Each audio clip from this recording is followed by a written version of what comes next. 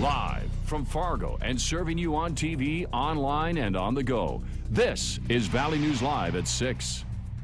The methamphetamine appears to be coming out of Mexico, where there are super labs producing it. Overdoses continue around the area, and now we've uncovered where some of the drugs are coming from. Good evening, everyone, and thanks for joining us tonight. Another overdose and another death to report tonight. Moorhead police say they were able to save someone, but Fargo police report another overdose death. Police also tell us international connections to Mexican drug cartels are funneling more than just heroin to the Red River Valley. Valley News Team's Bradford Eric looks into the pipeline supplying drugs on our streets. Mexican drug cartels operating in the FM Metro Saying it aloud sounds nuts, but it's anything but. Well, there is information that the cartel is uh, operating in North Dakota. It had been primarily in western North Dakota. West Fargo Police Chief Mike Reitan says the oil slowdown means it's less profitable for dealers to operate there, and the fat wallets of Fargo Moorhead were ripe for the taking. But Chief Reitan says the fact that meth, heroin, fentanyl, and other drugs are being shipped nearly 1,400 miles north is frightening. And that's why we've uh, committed extra resources to uh, identify those individuals in the community and to arrest them. Remember this major drug bust just two weeks ago?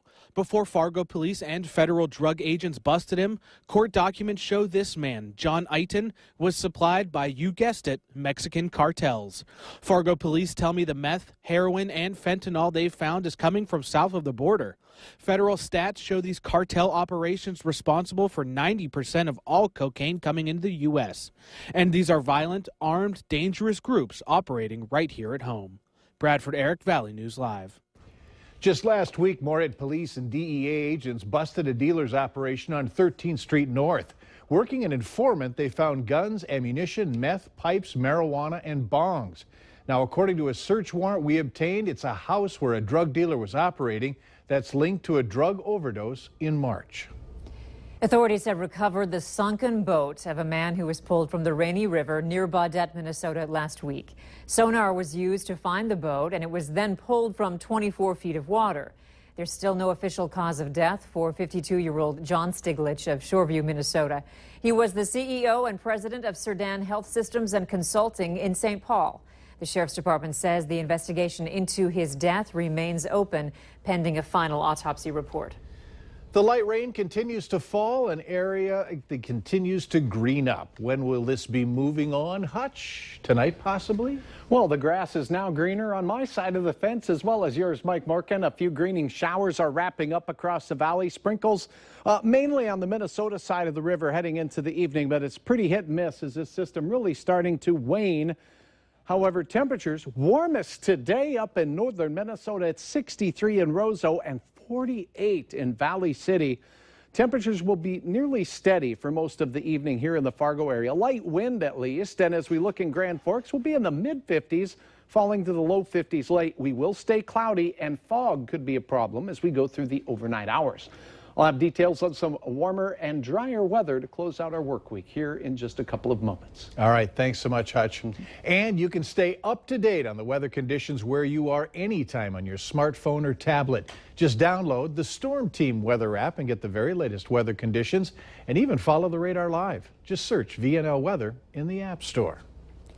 A Minnesota man says he'll plead guilty to starting a fire at a Somali restaurant in Grand Forks. 25-year-old Matthew Gust of East Grand Forks is charged with use of a destructive device during a crime of violence and malicious use of an explosive device.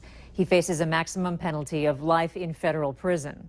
Authorities say the December 7th fire at the Juba Coffee House was started by a homemade explosive and caused an estimated $90,000 in damages. Vandals had earlier spray painted what some have described as a Nazi like symbol on the business, but investigators don't know if that's connected to the fire. A GoFundMe page has been set up for this girl. 15 year old Stacy Hundaby was fatally struck by a train while walking her dog in Wadena, Minnesota. The account has been set up to raise funds for her funeral costs. If you would like to donate, head to our website, valleynewslive.com, and click on this story. There you'll find a link to the account. The Circle of Friends Humane Society in Grand Forks is back open today following a parvo scare. The executive director tells us the staff is excited to be back after a sick dog prompted a voluntary quarantine. As a precaution, the shelter had to be closed for two weeks. Parvo, which is a similar virus to the stomach flu in humans, is contagious if animals aren't vaccinated. We're learning new details surrounding proposed sweeping budget cuts at the University of North Dakota. In terms of pink slips, the budget may not be as bad as it suggests. Here's one example. The budget calls for cutting 22 positions in the College of Arts and Sciences. It's the largest college on campus with over 20 departments. But officials say it's not likely even one tenured faculty member will lose their job. Some faculty members will take early retirement. Some open positions won't be filled. So, do you actually envision that many faculty members are going to get pink slipped? No, absolutely not. I don't think there's any tenured faculty members that will get pink slipped. Tomorrow, between 1 and 3 p.m. at UND's Memorial Union, everyone will have a chance to present their opinion on all this at a public forum. UND interim president Ed Schafer will submit his final budget proposal to the state later this month. Now, if you're looking for UND's detailed budget, we have a link to it online. Go to valleynewslive.com and click on this story. The Dakotas are home to many of the world's refugees, and resettlement has been a topic of discussion here in the Red River Valley. Now, South Dakota's refugee coordinator says Aberdeen could be a potential resettlement site for refugees. City officials do not decide whether or not refugees can resettle in Aberdeen, but Mayor Mike Levsen says a lot of opportunities can come from allowing them to stay. State Refugee Director Tim Jurgens says prepping a city to become a resettlement site includes community consultations and meeting with congregations and employers to gauge how well a city can host residents who need great assistance, something he believes Aberdeen has the capability to do affordable housing, schools, um, medical infrastructure, is it there? Um, Department of Social Services, is there adequate um, e uh, English as second language training opportunities? Jurgen says he wants to be clear that nothing has been decided and they're still discussing this option. The state refugee director says the main goals for refugees when they arrive to new cities are family unification and self-sufficiency. The city of Fargo is reminding people that toilets are not meant to be used as trash cans.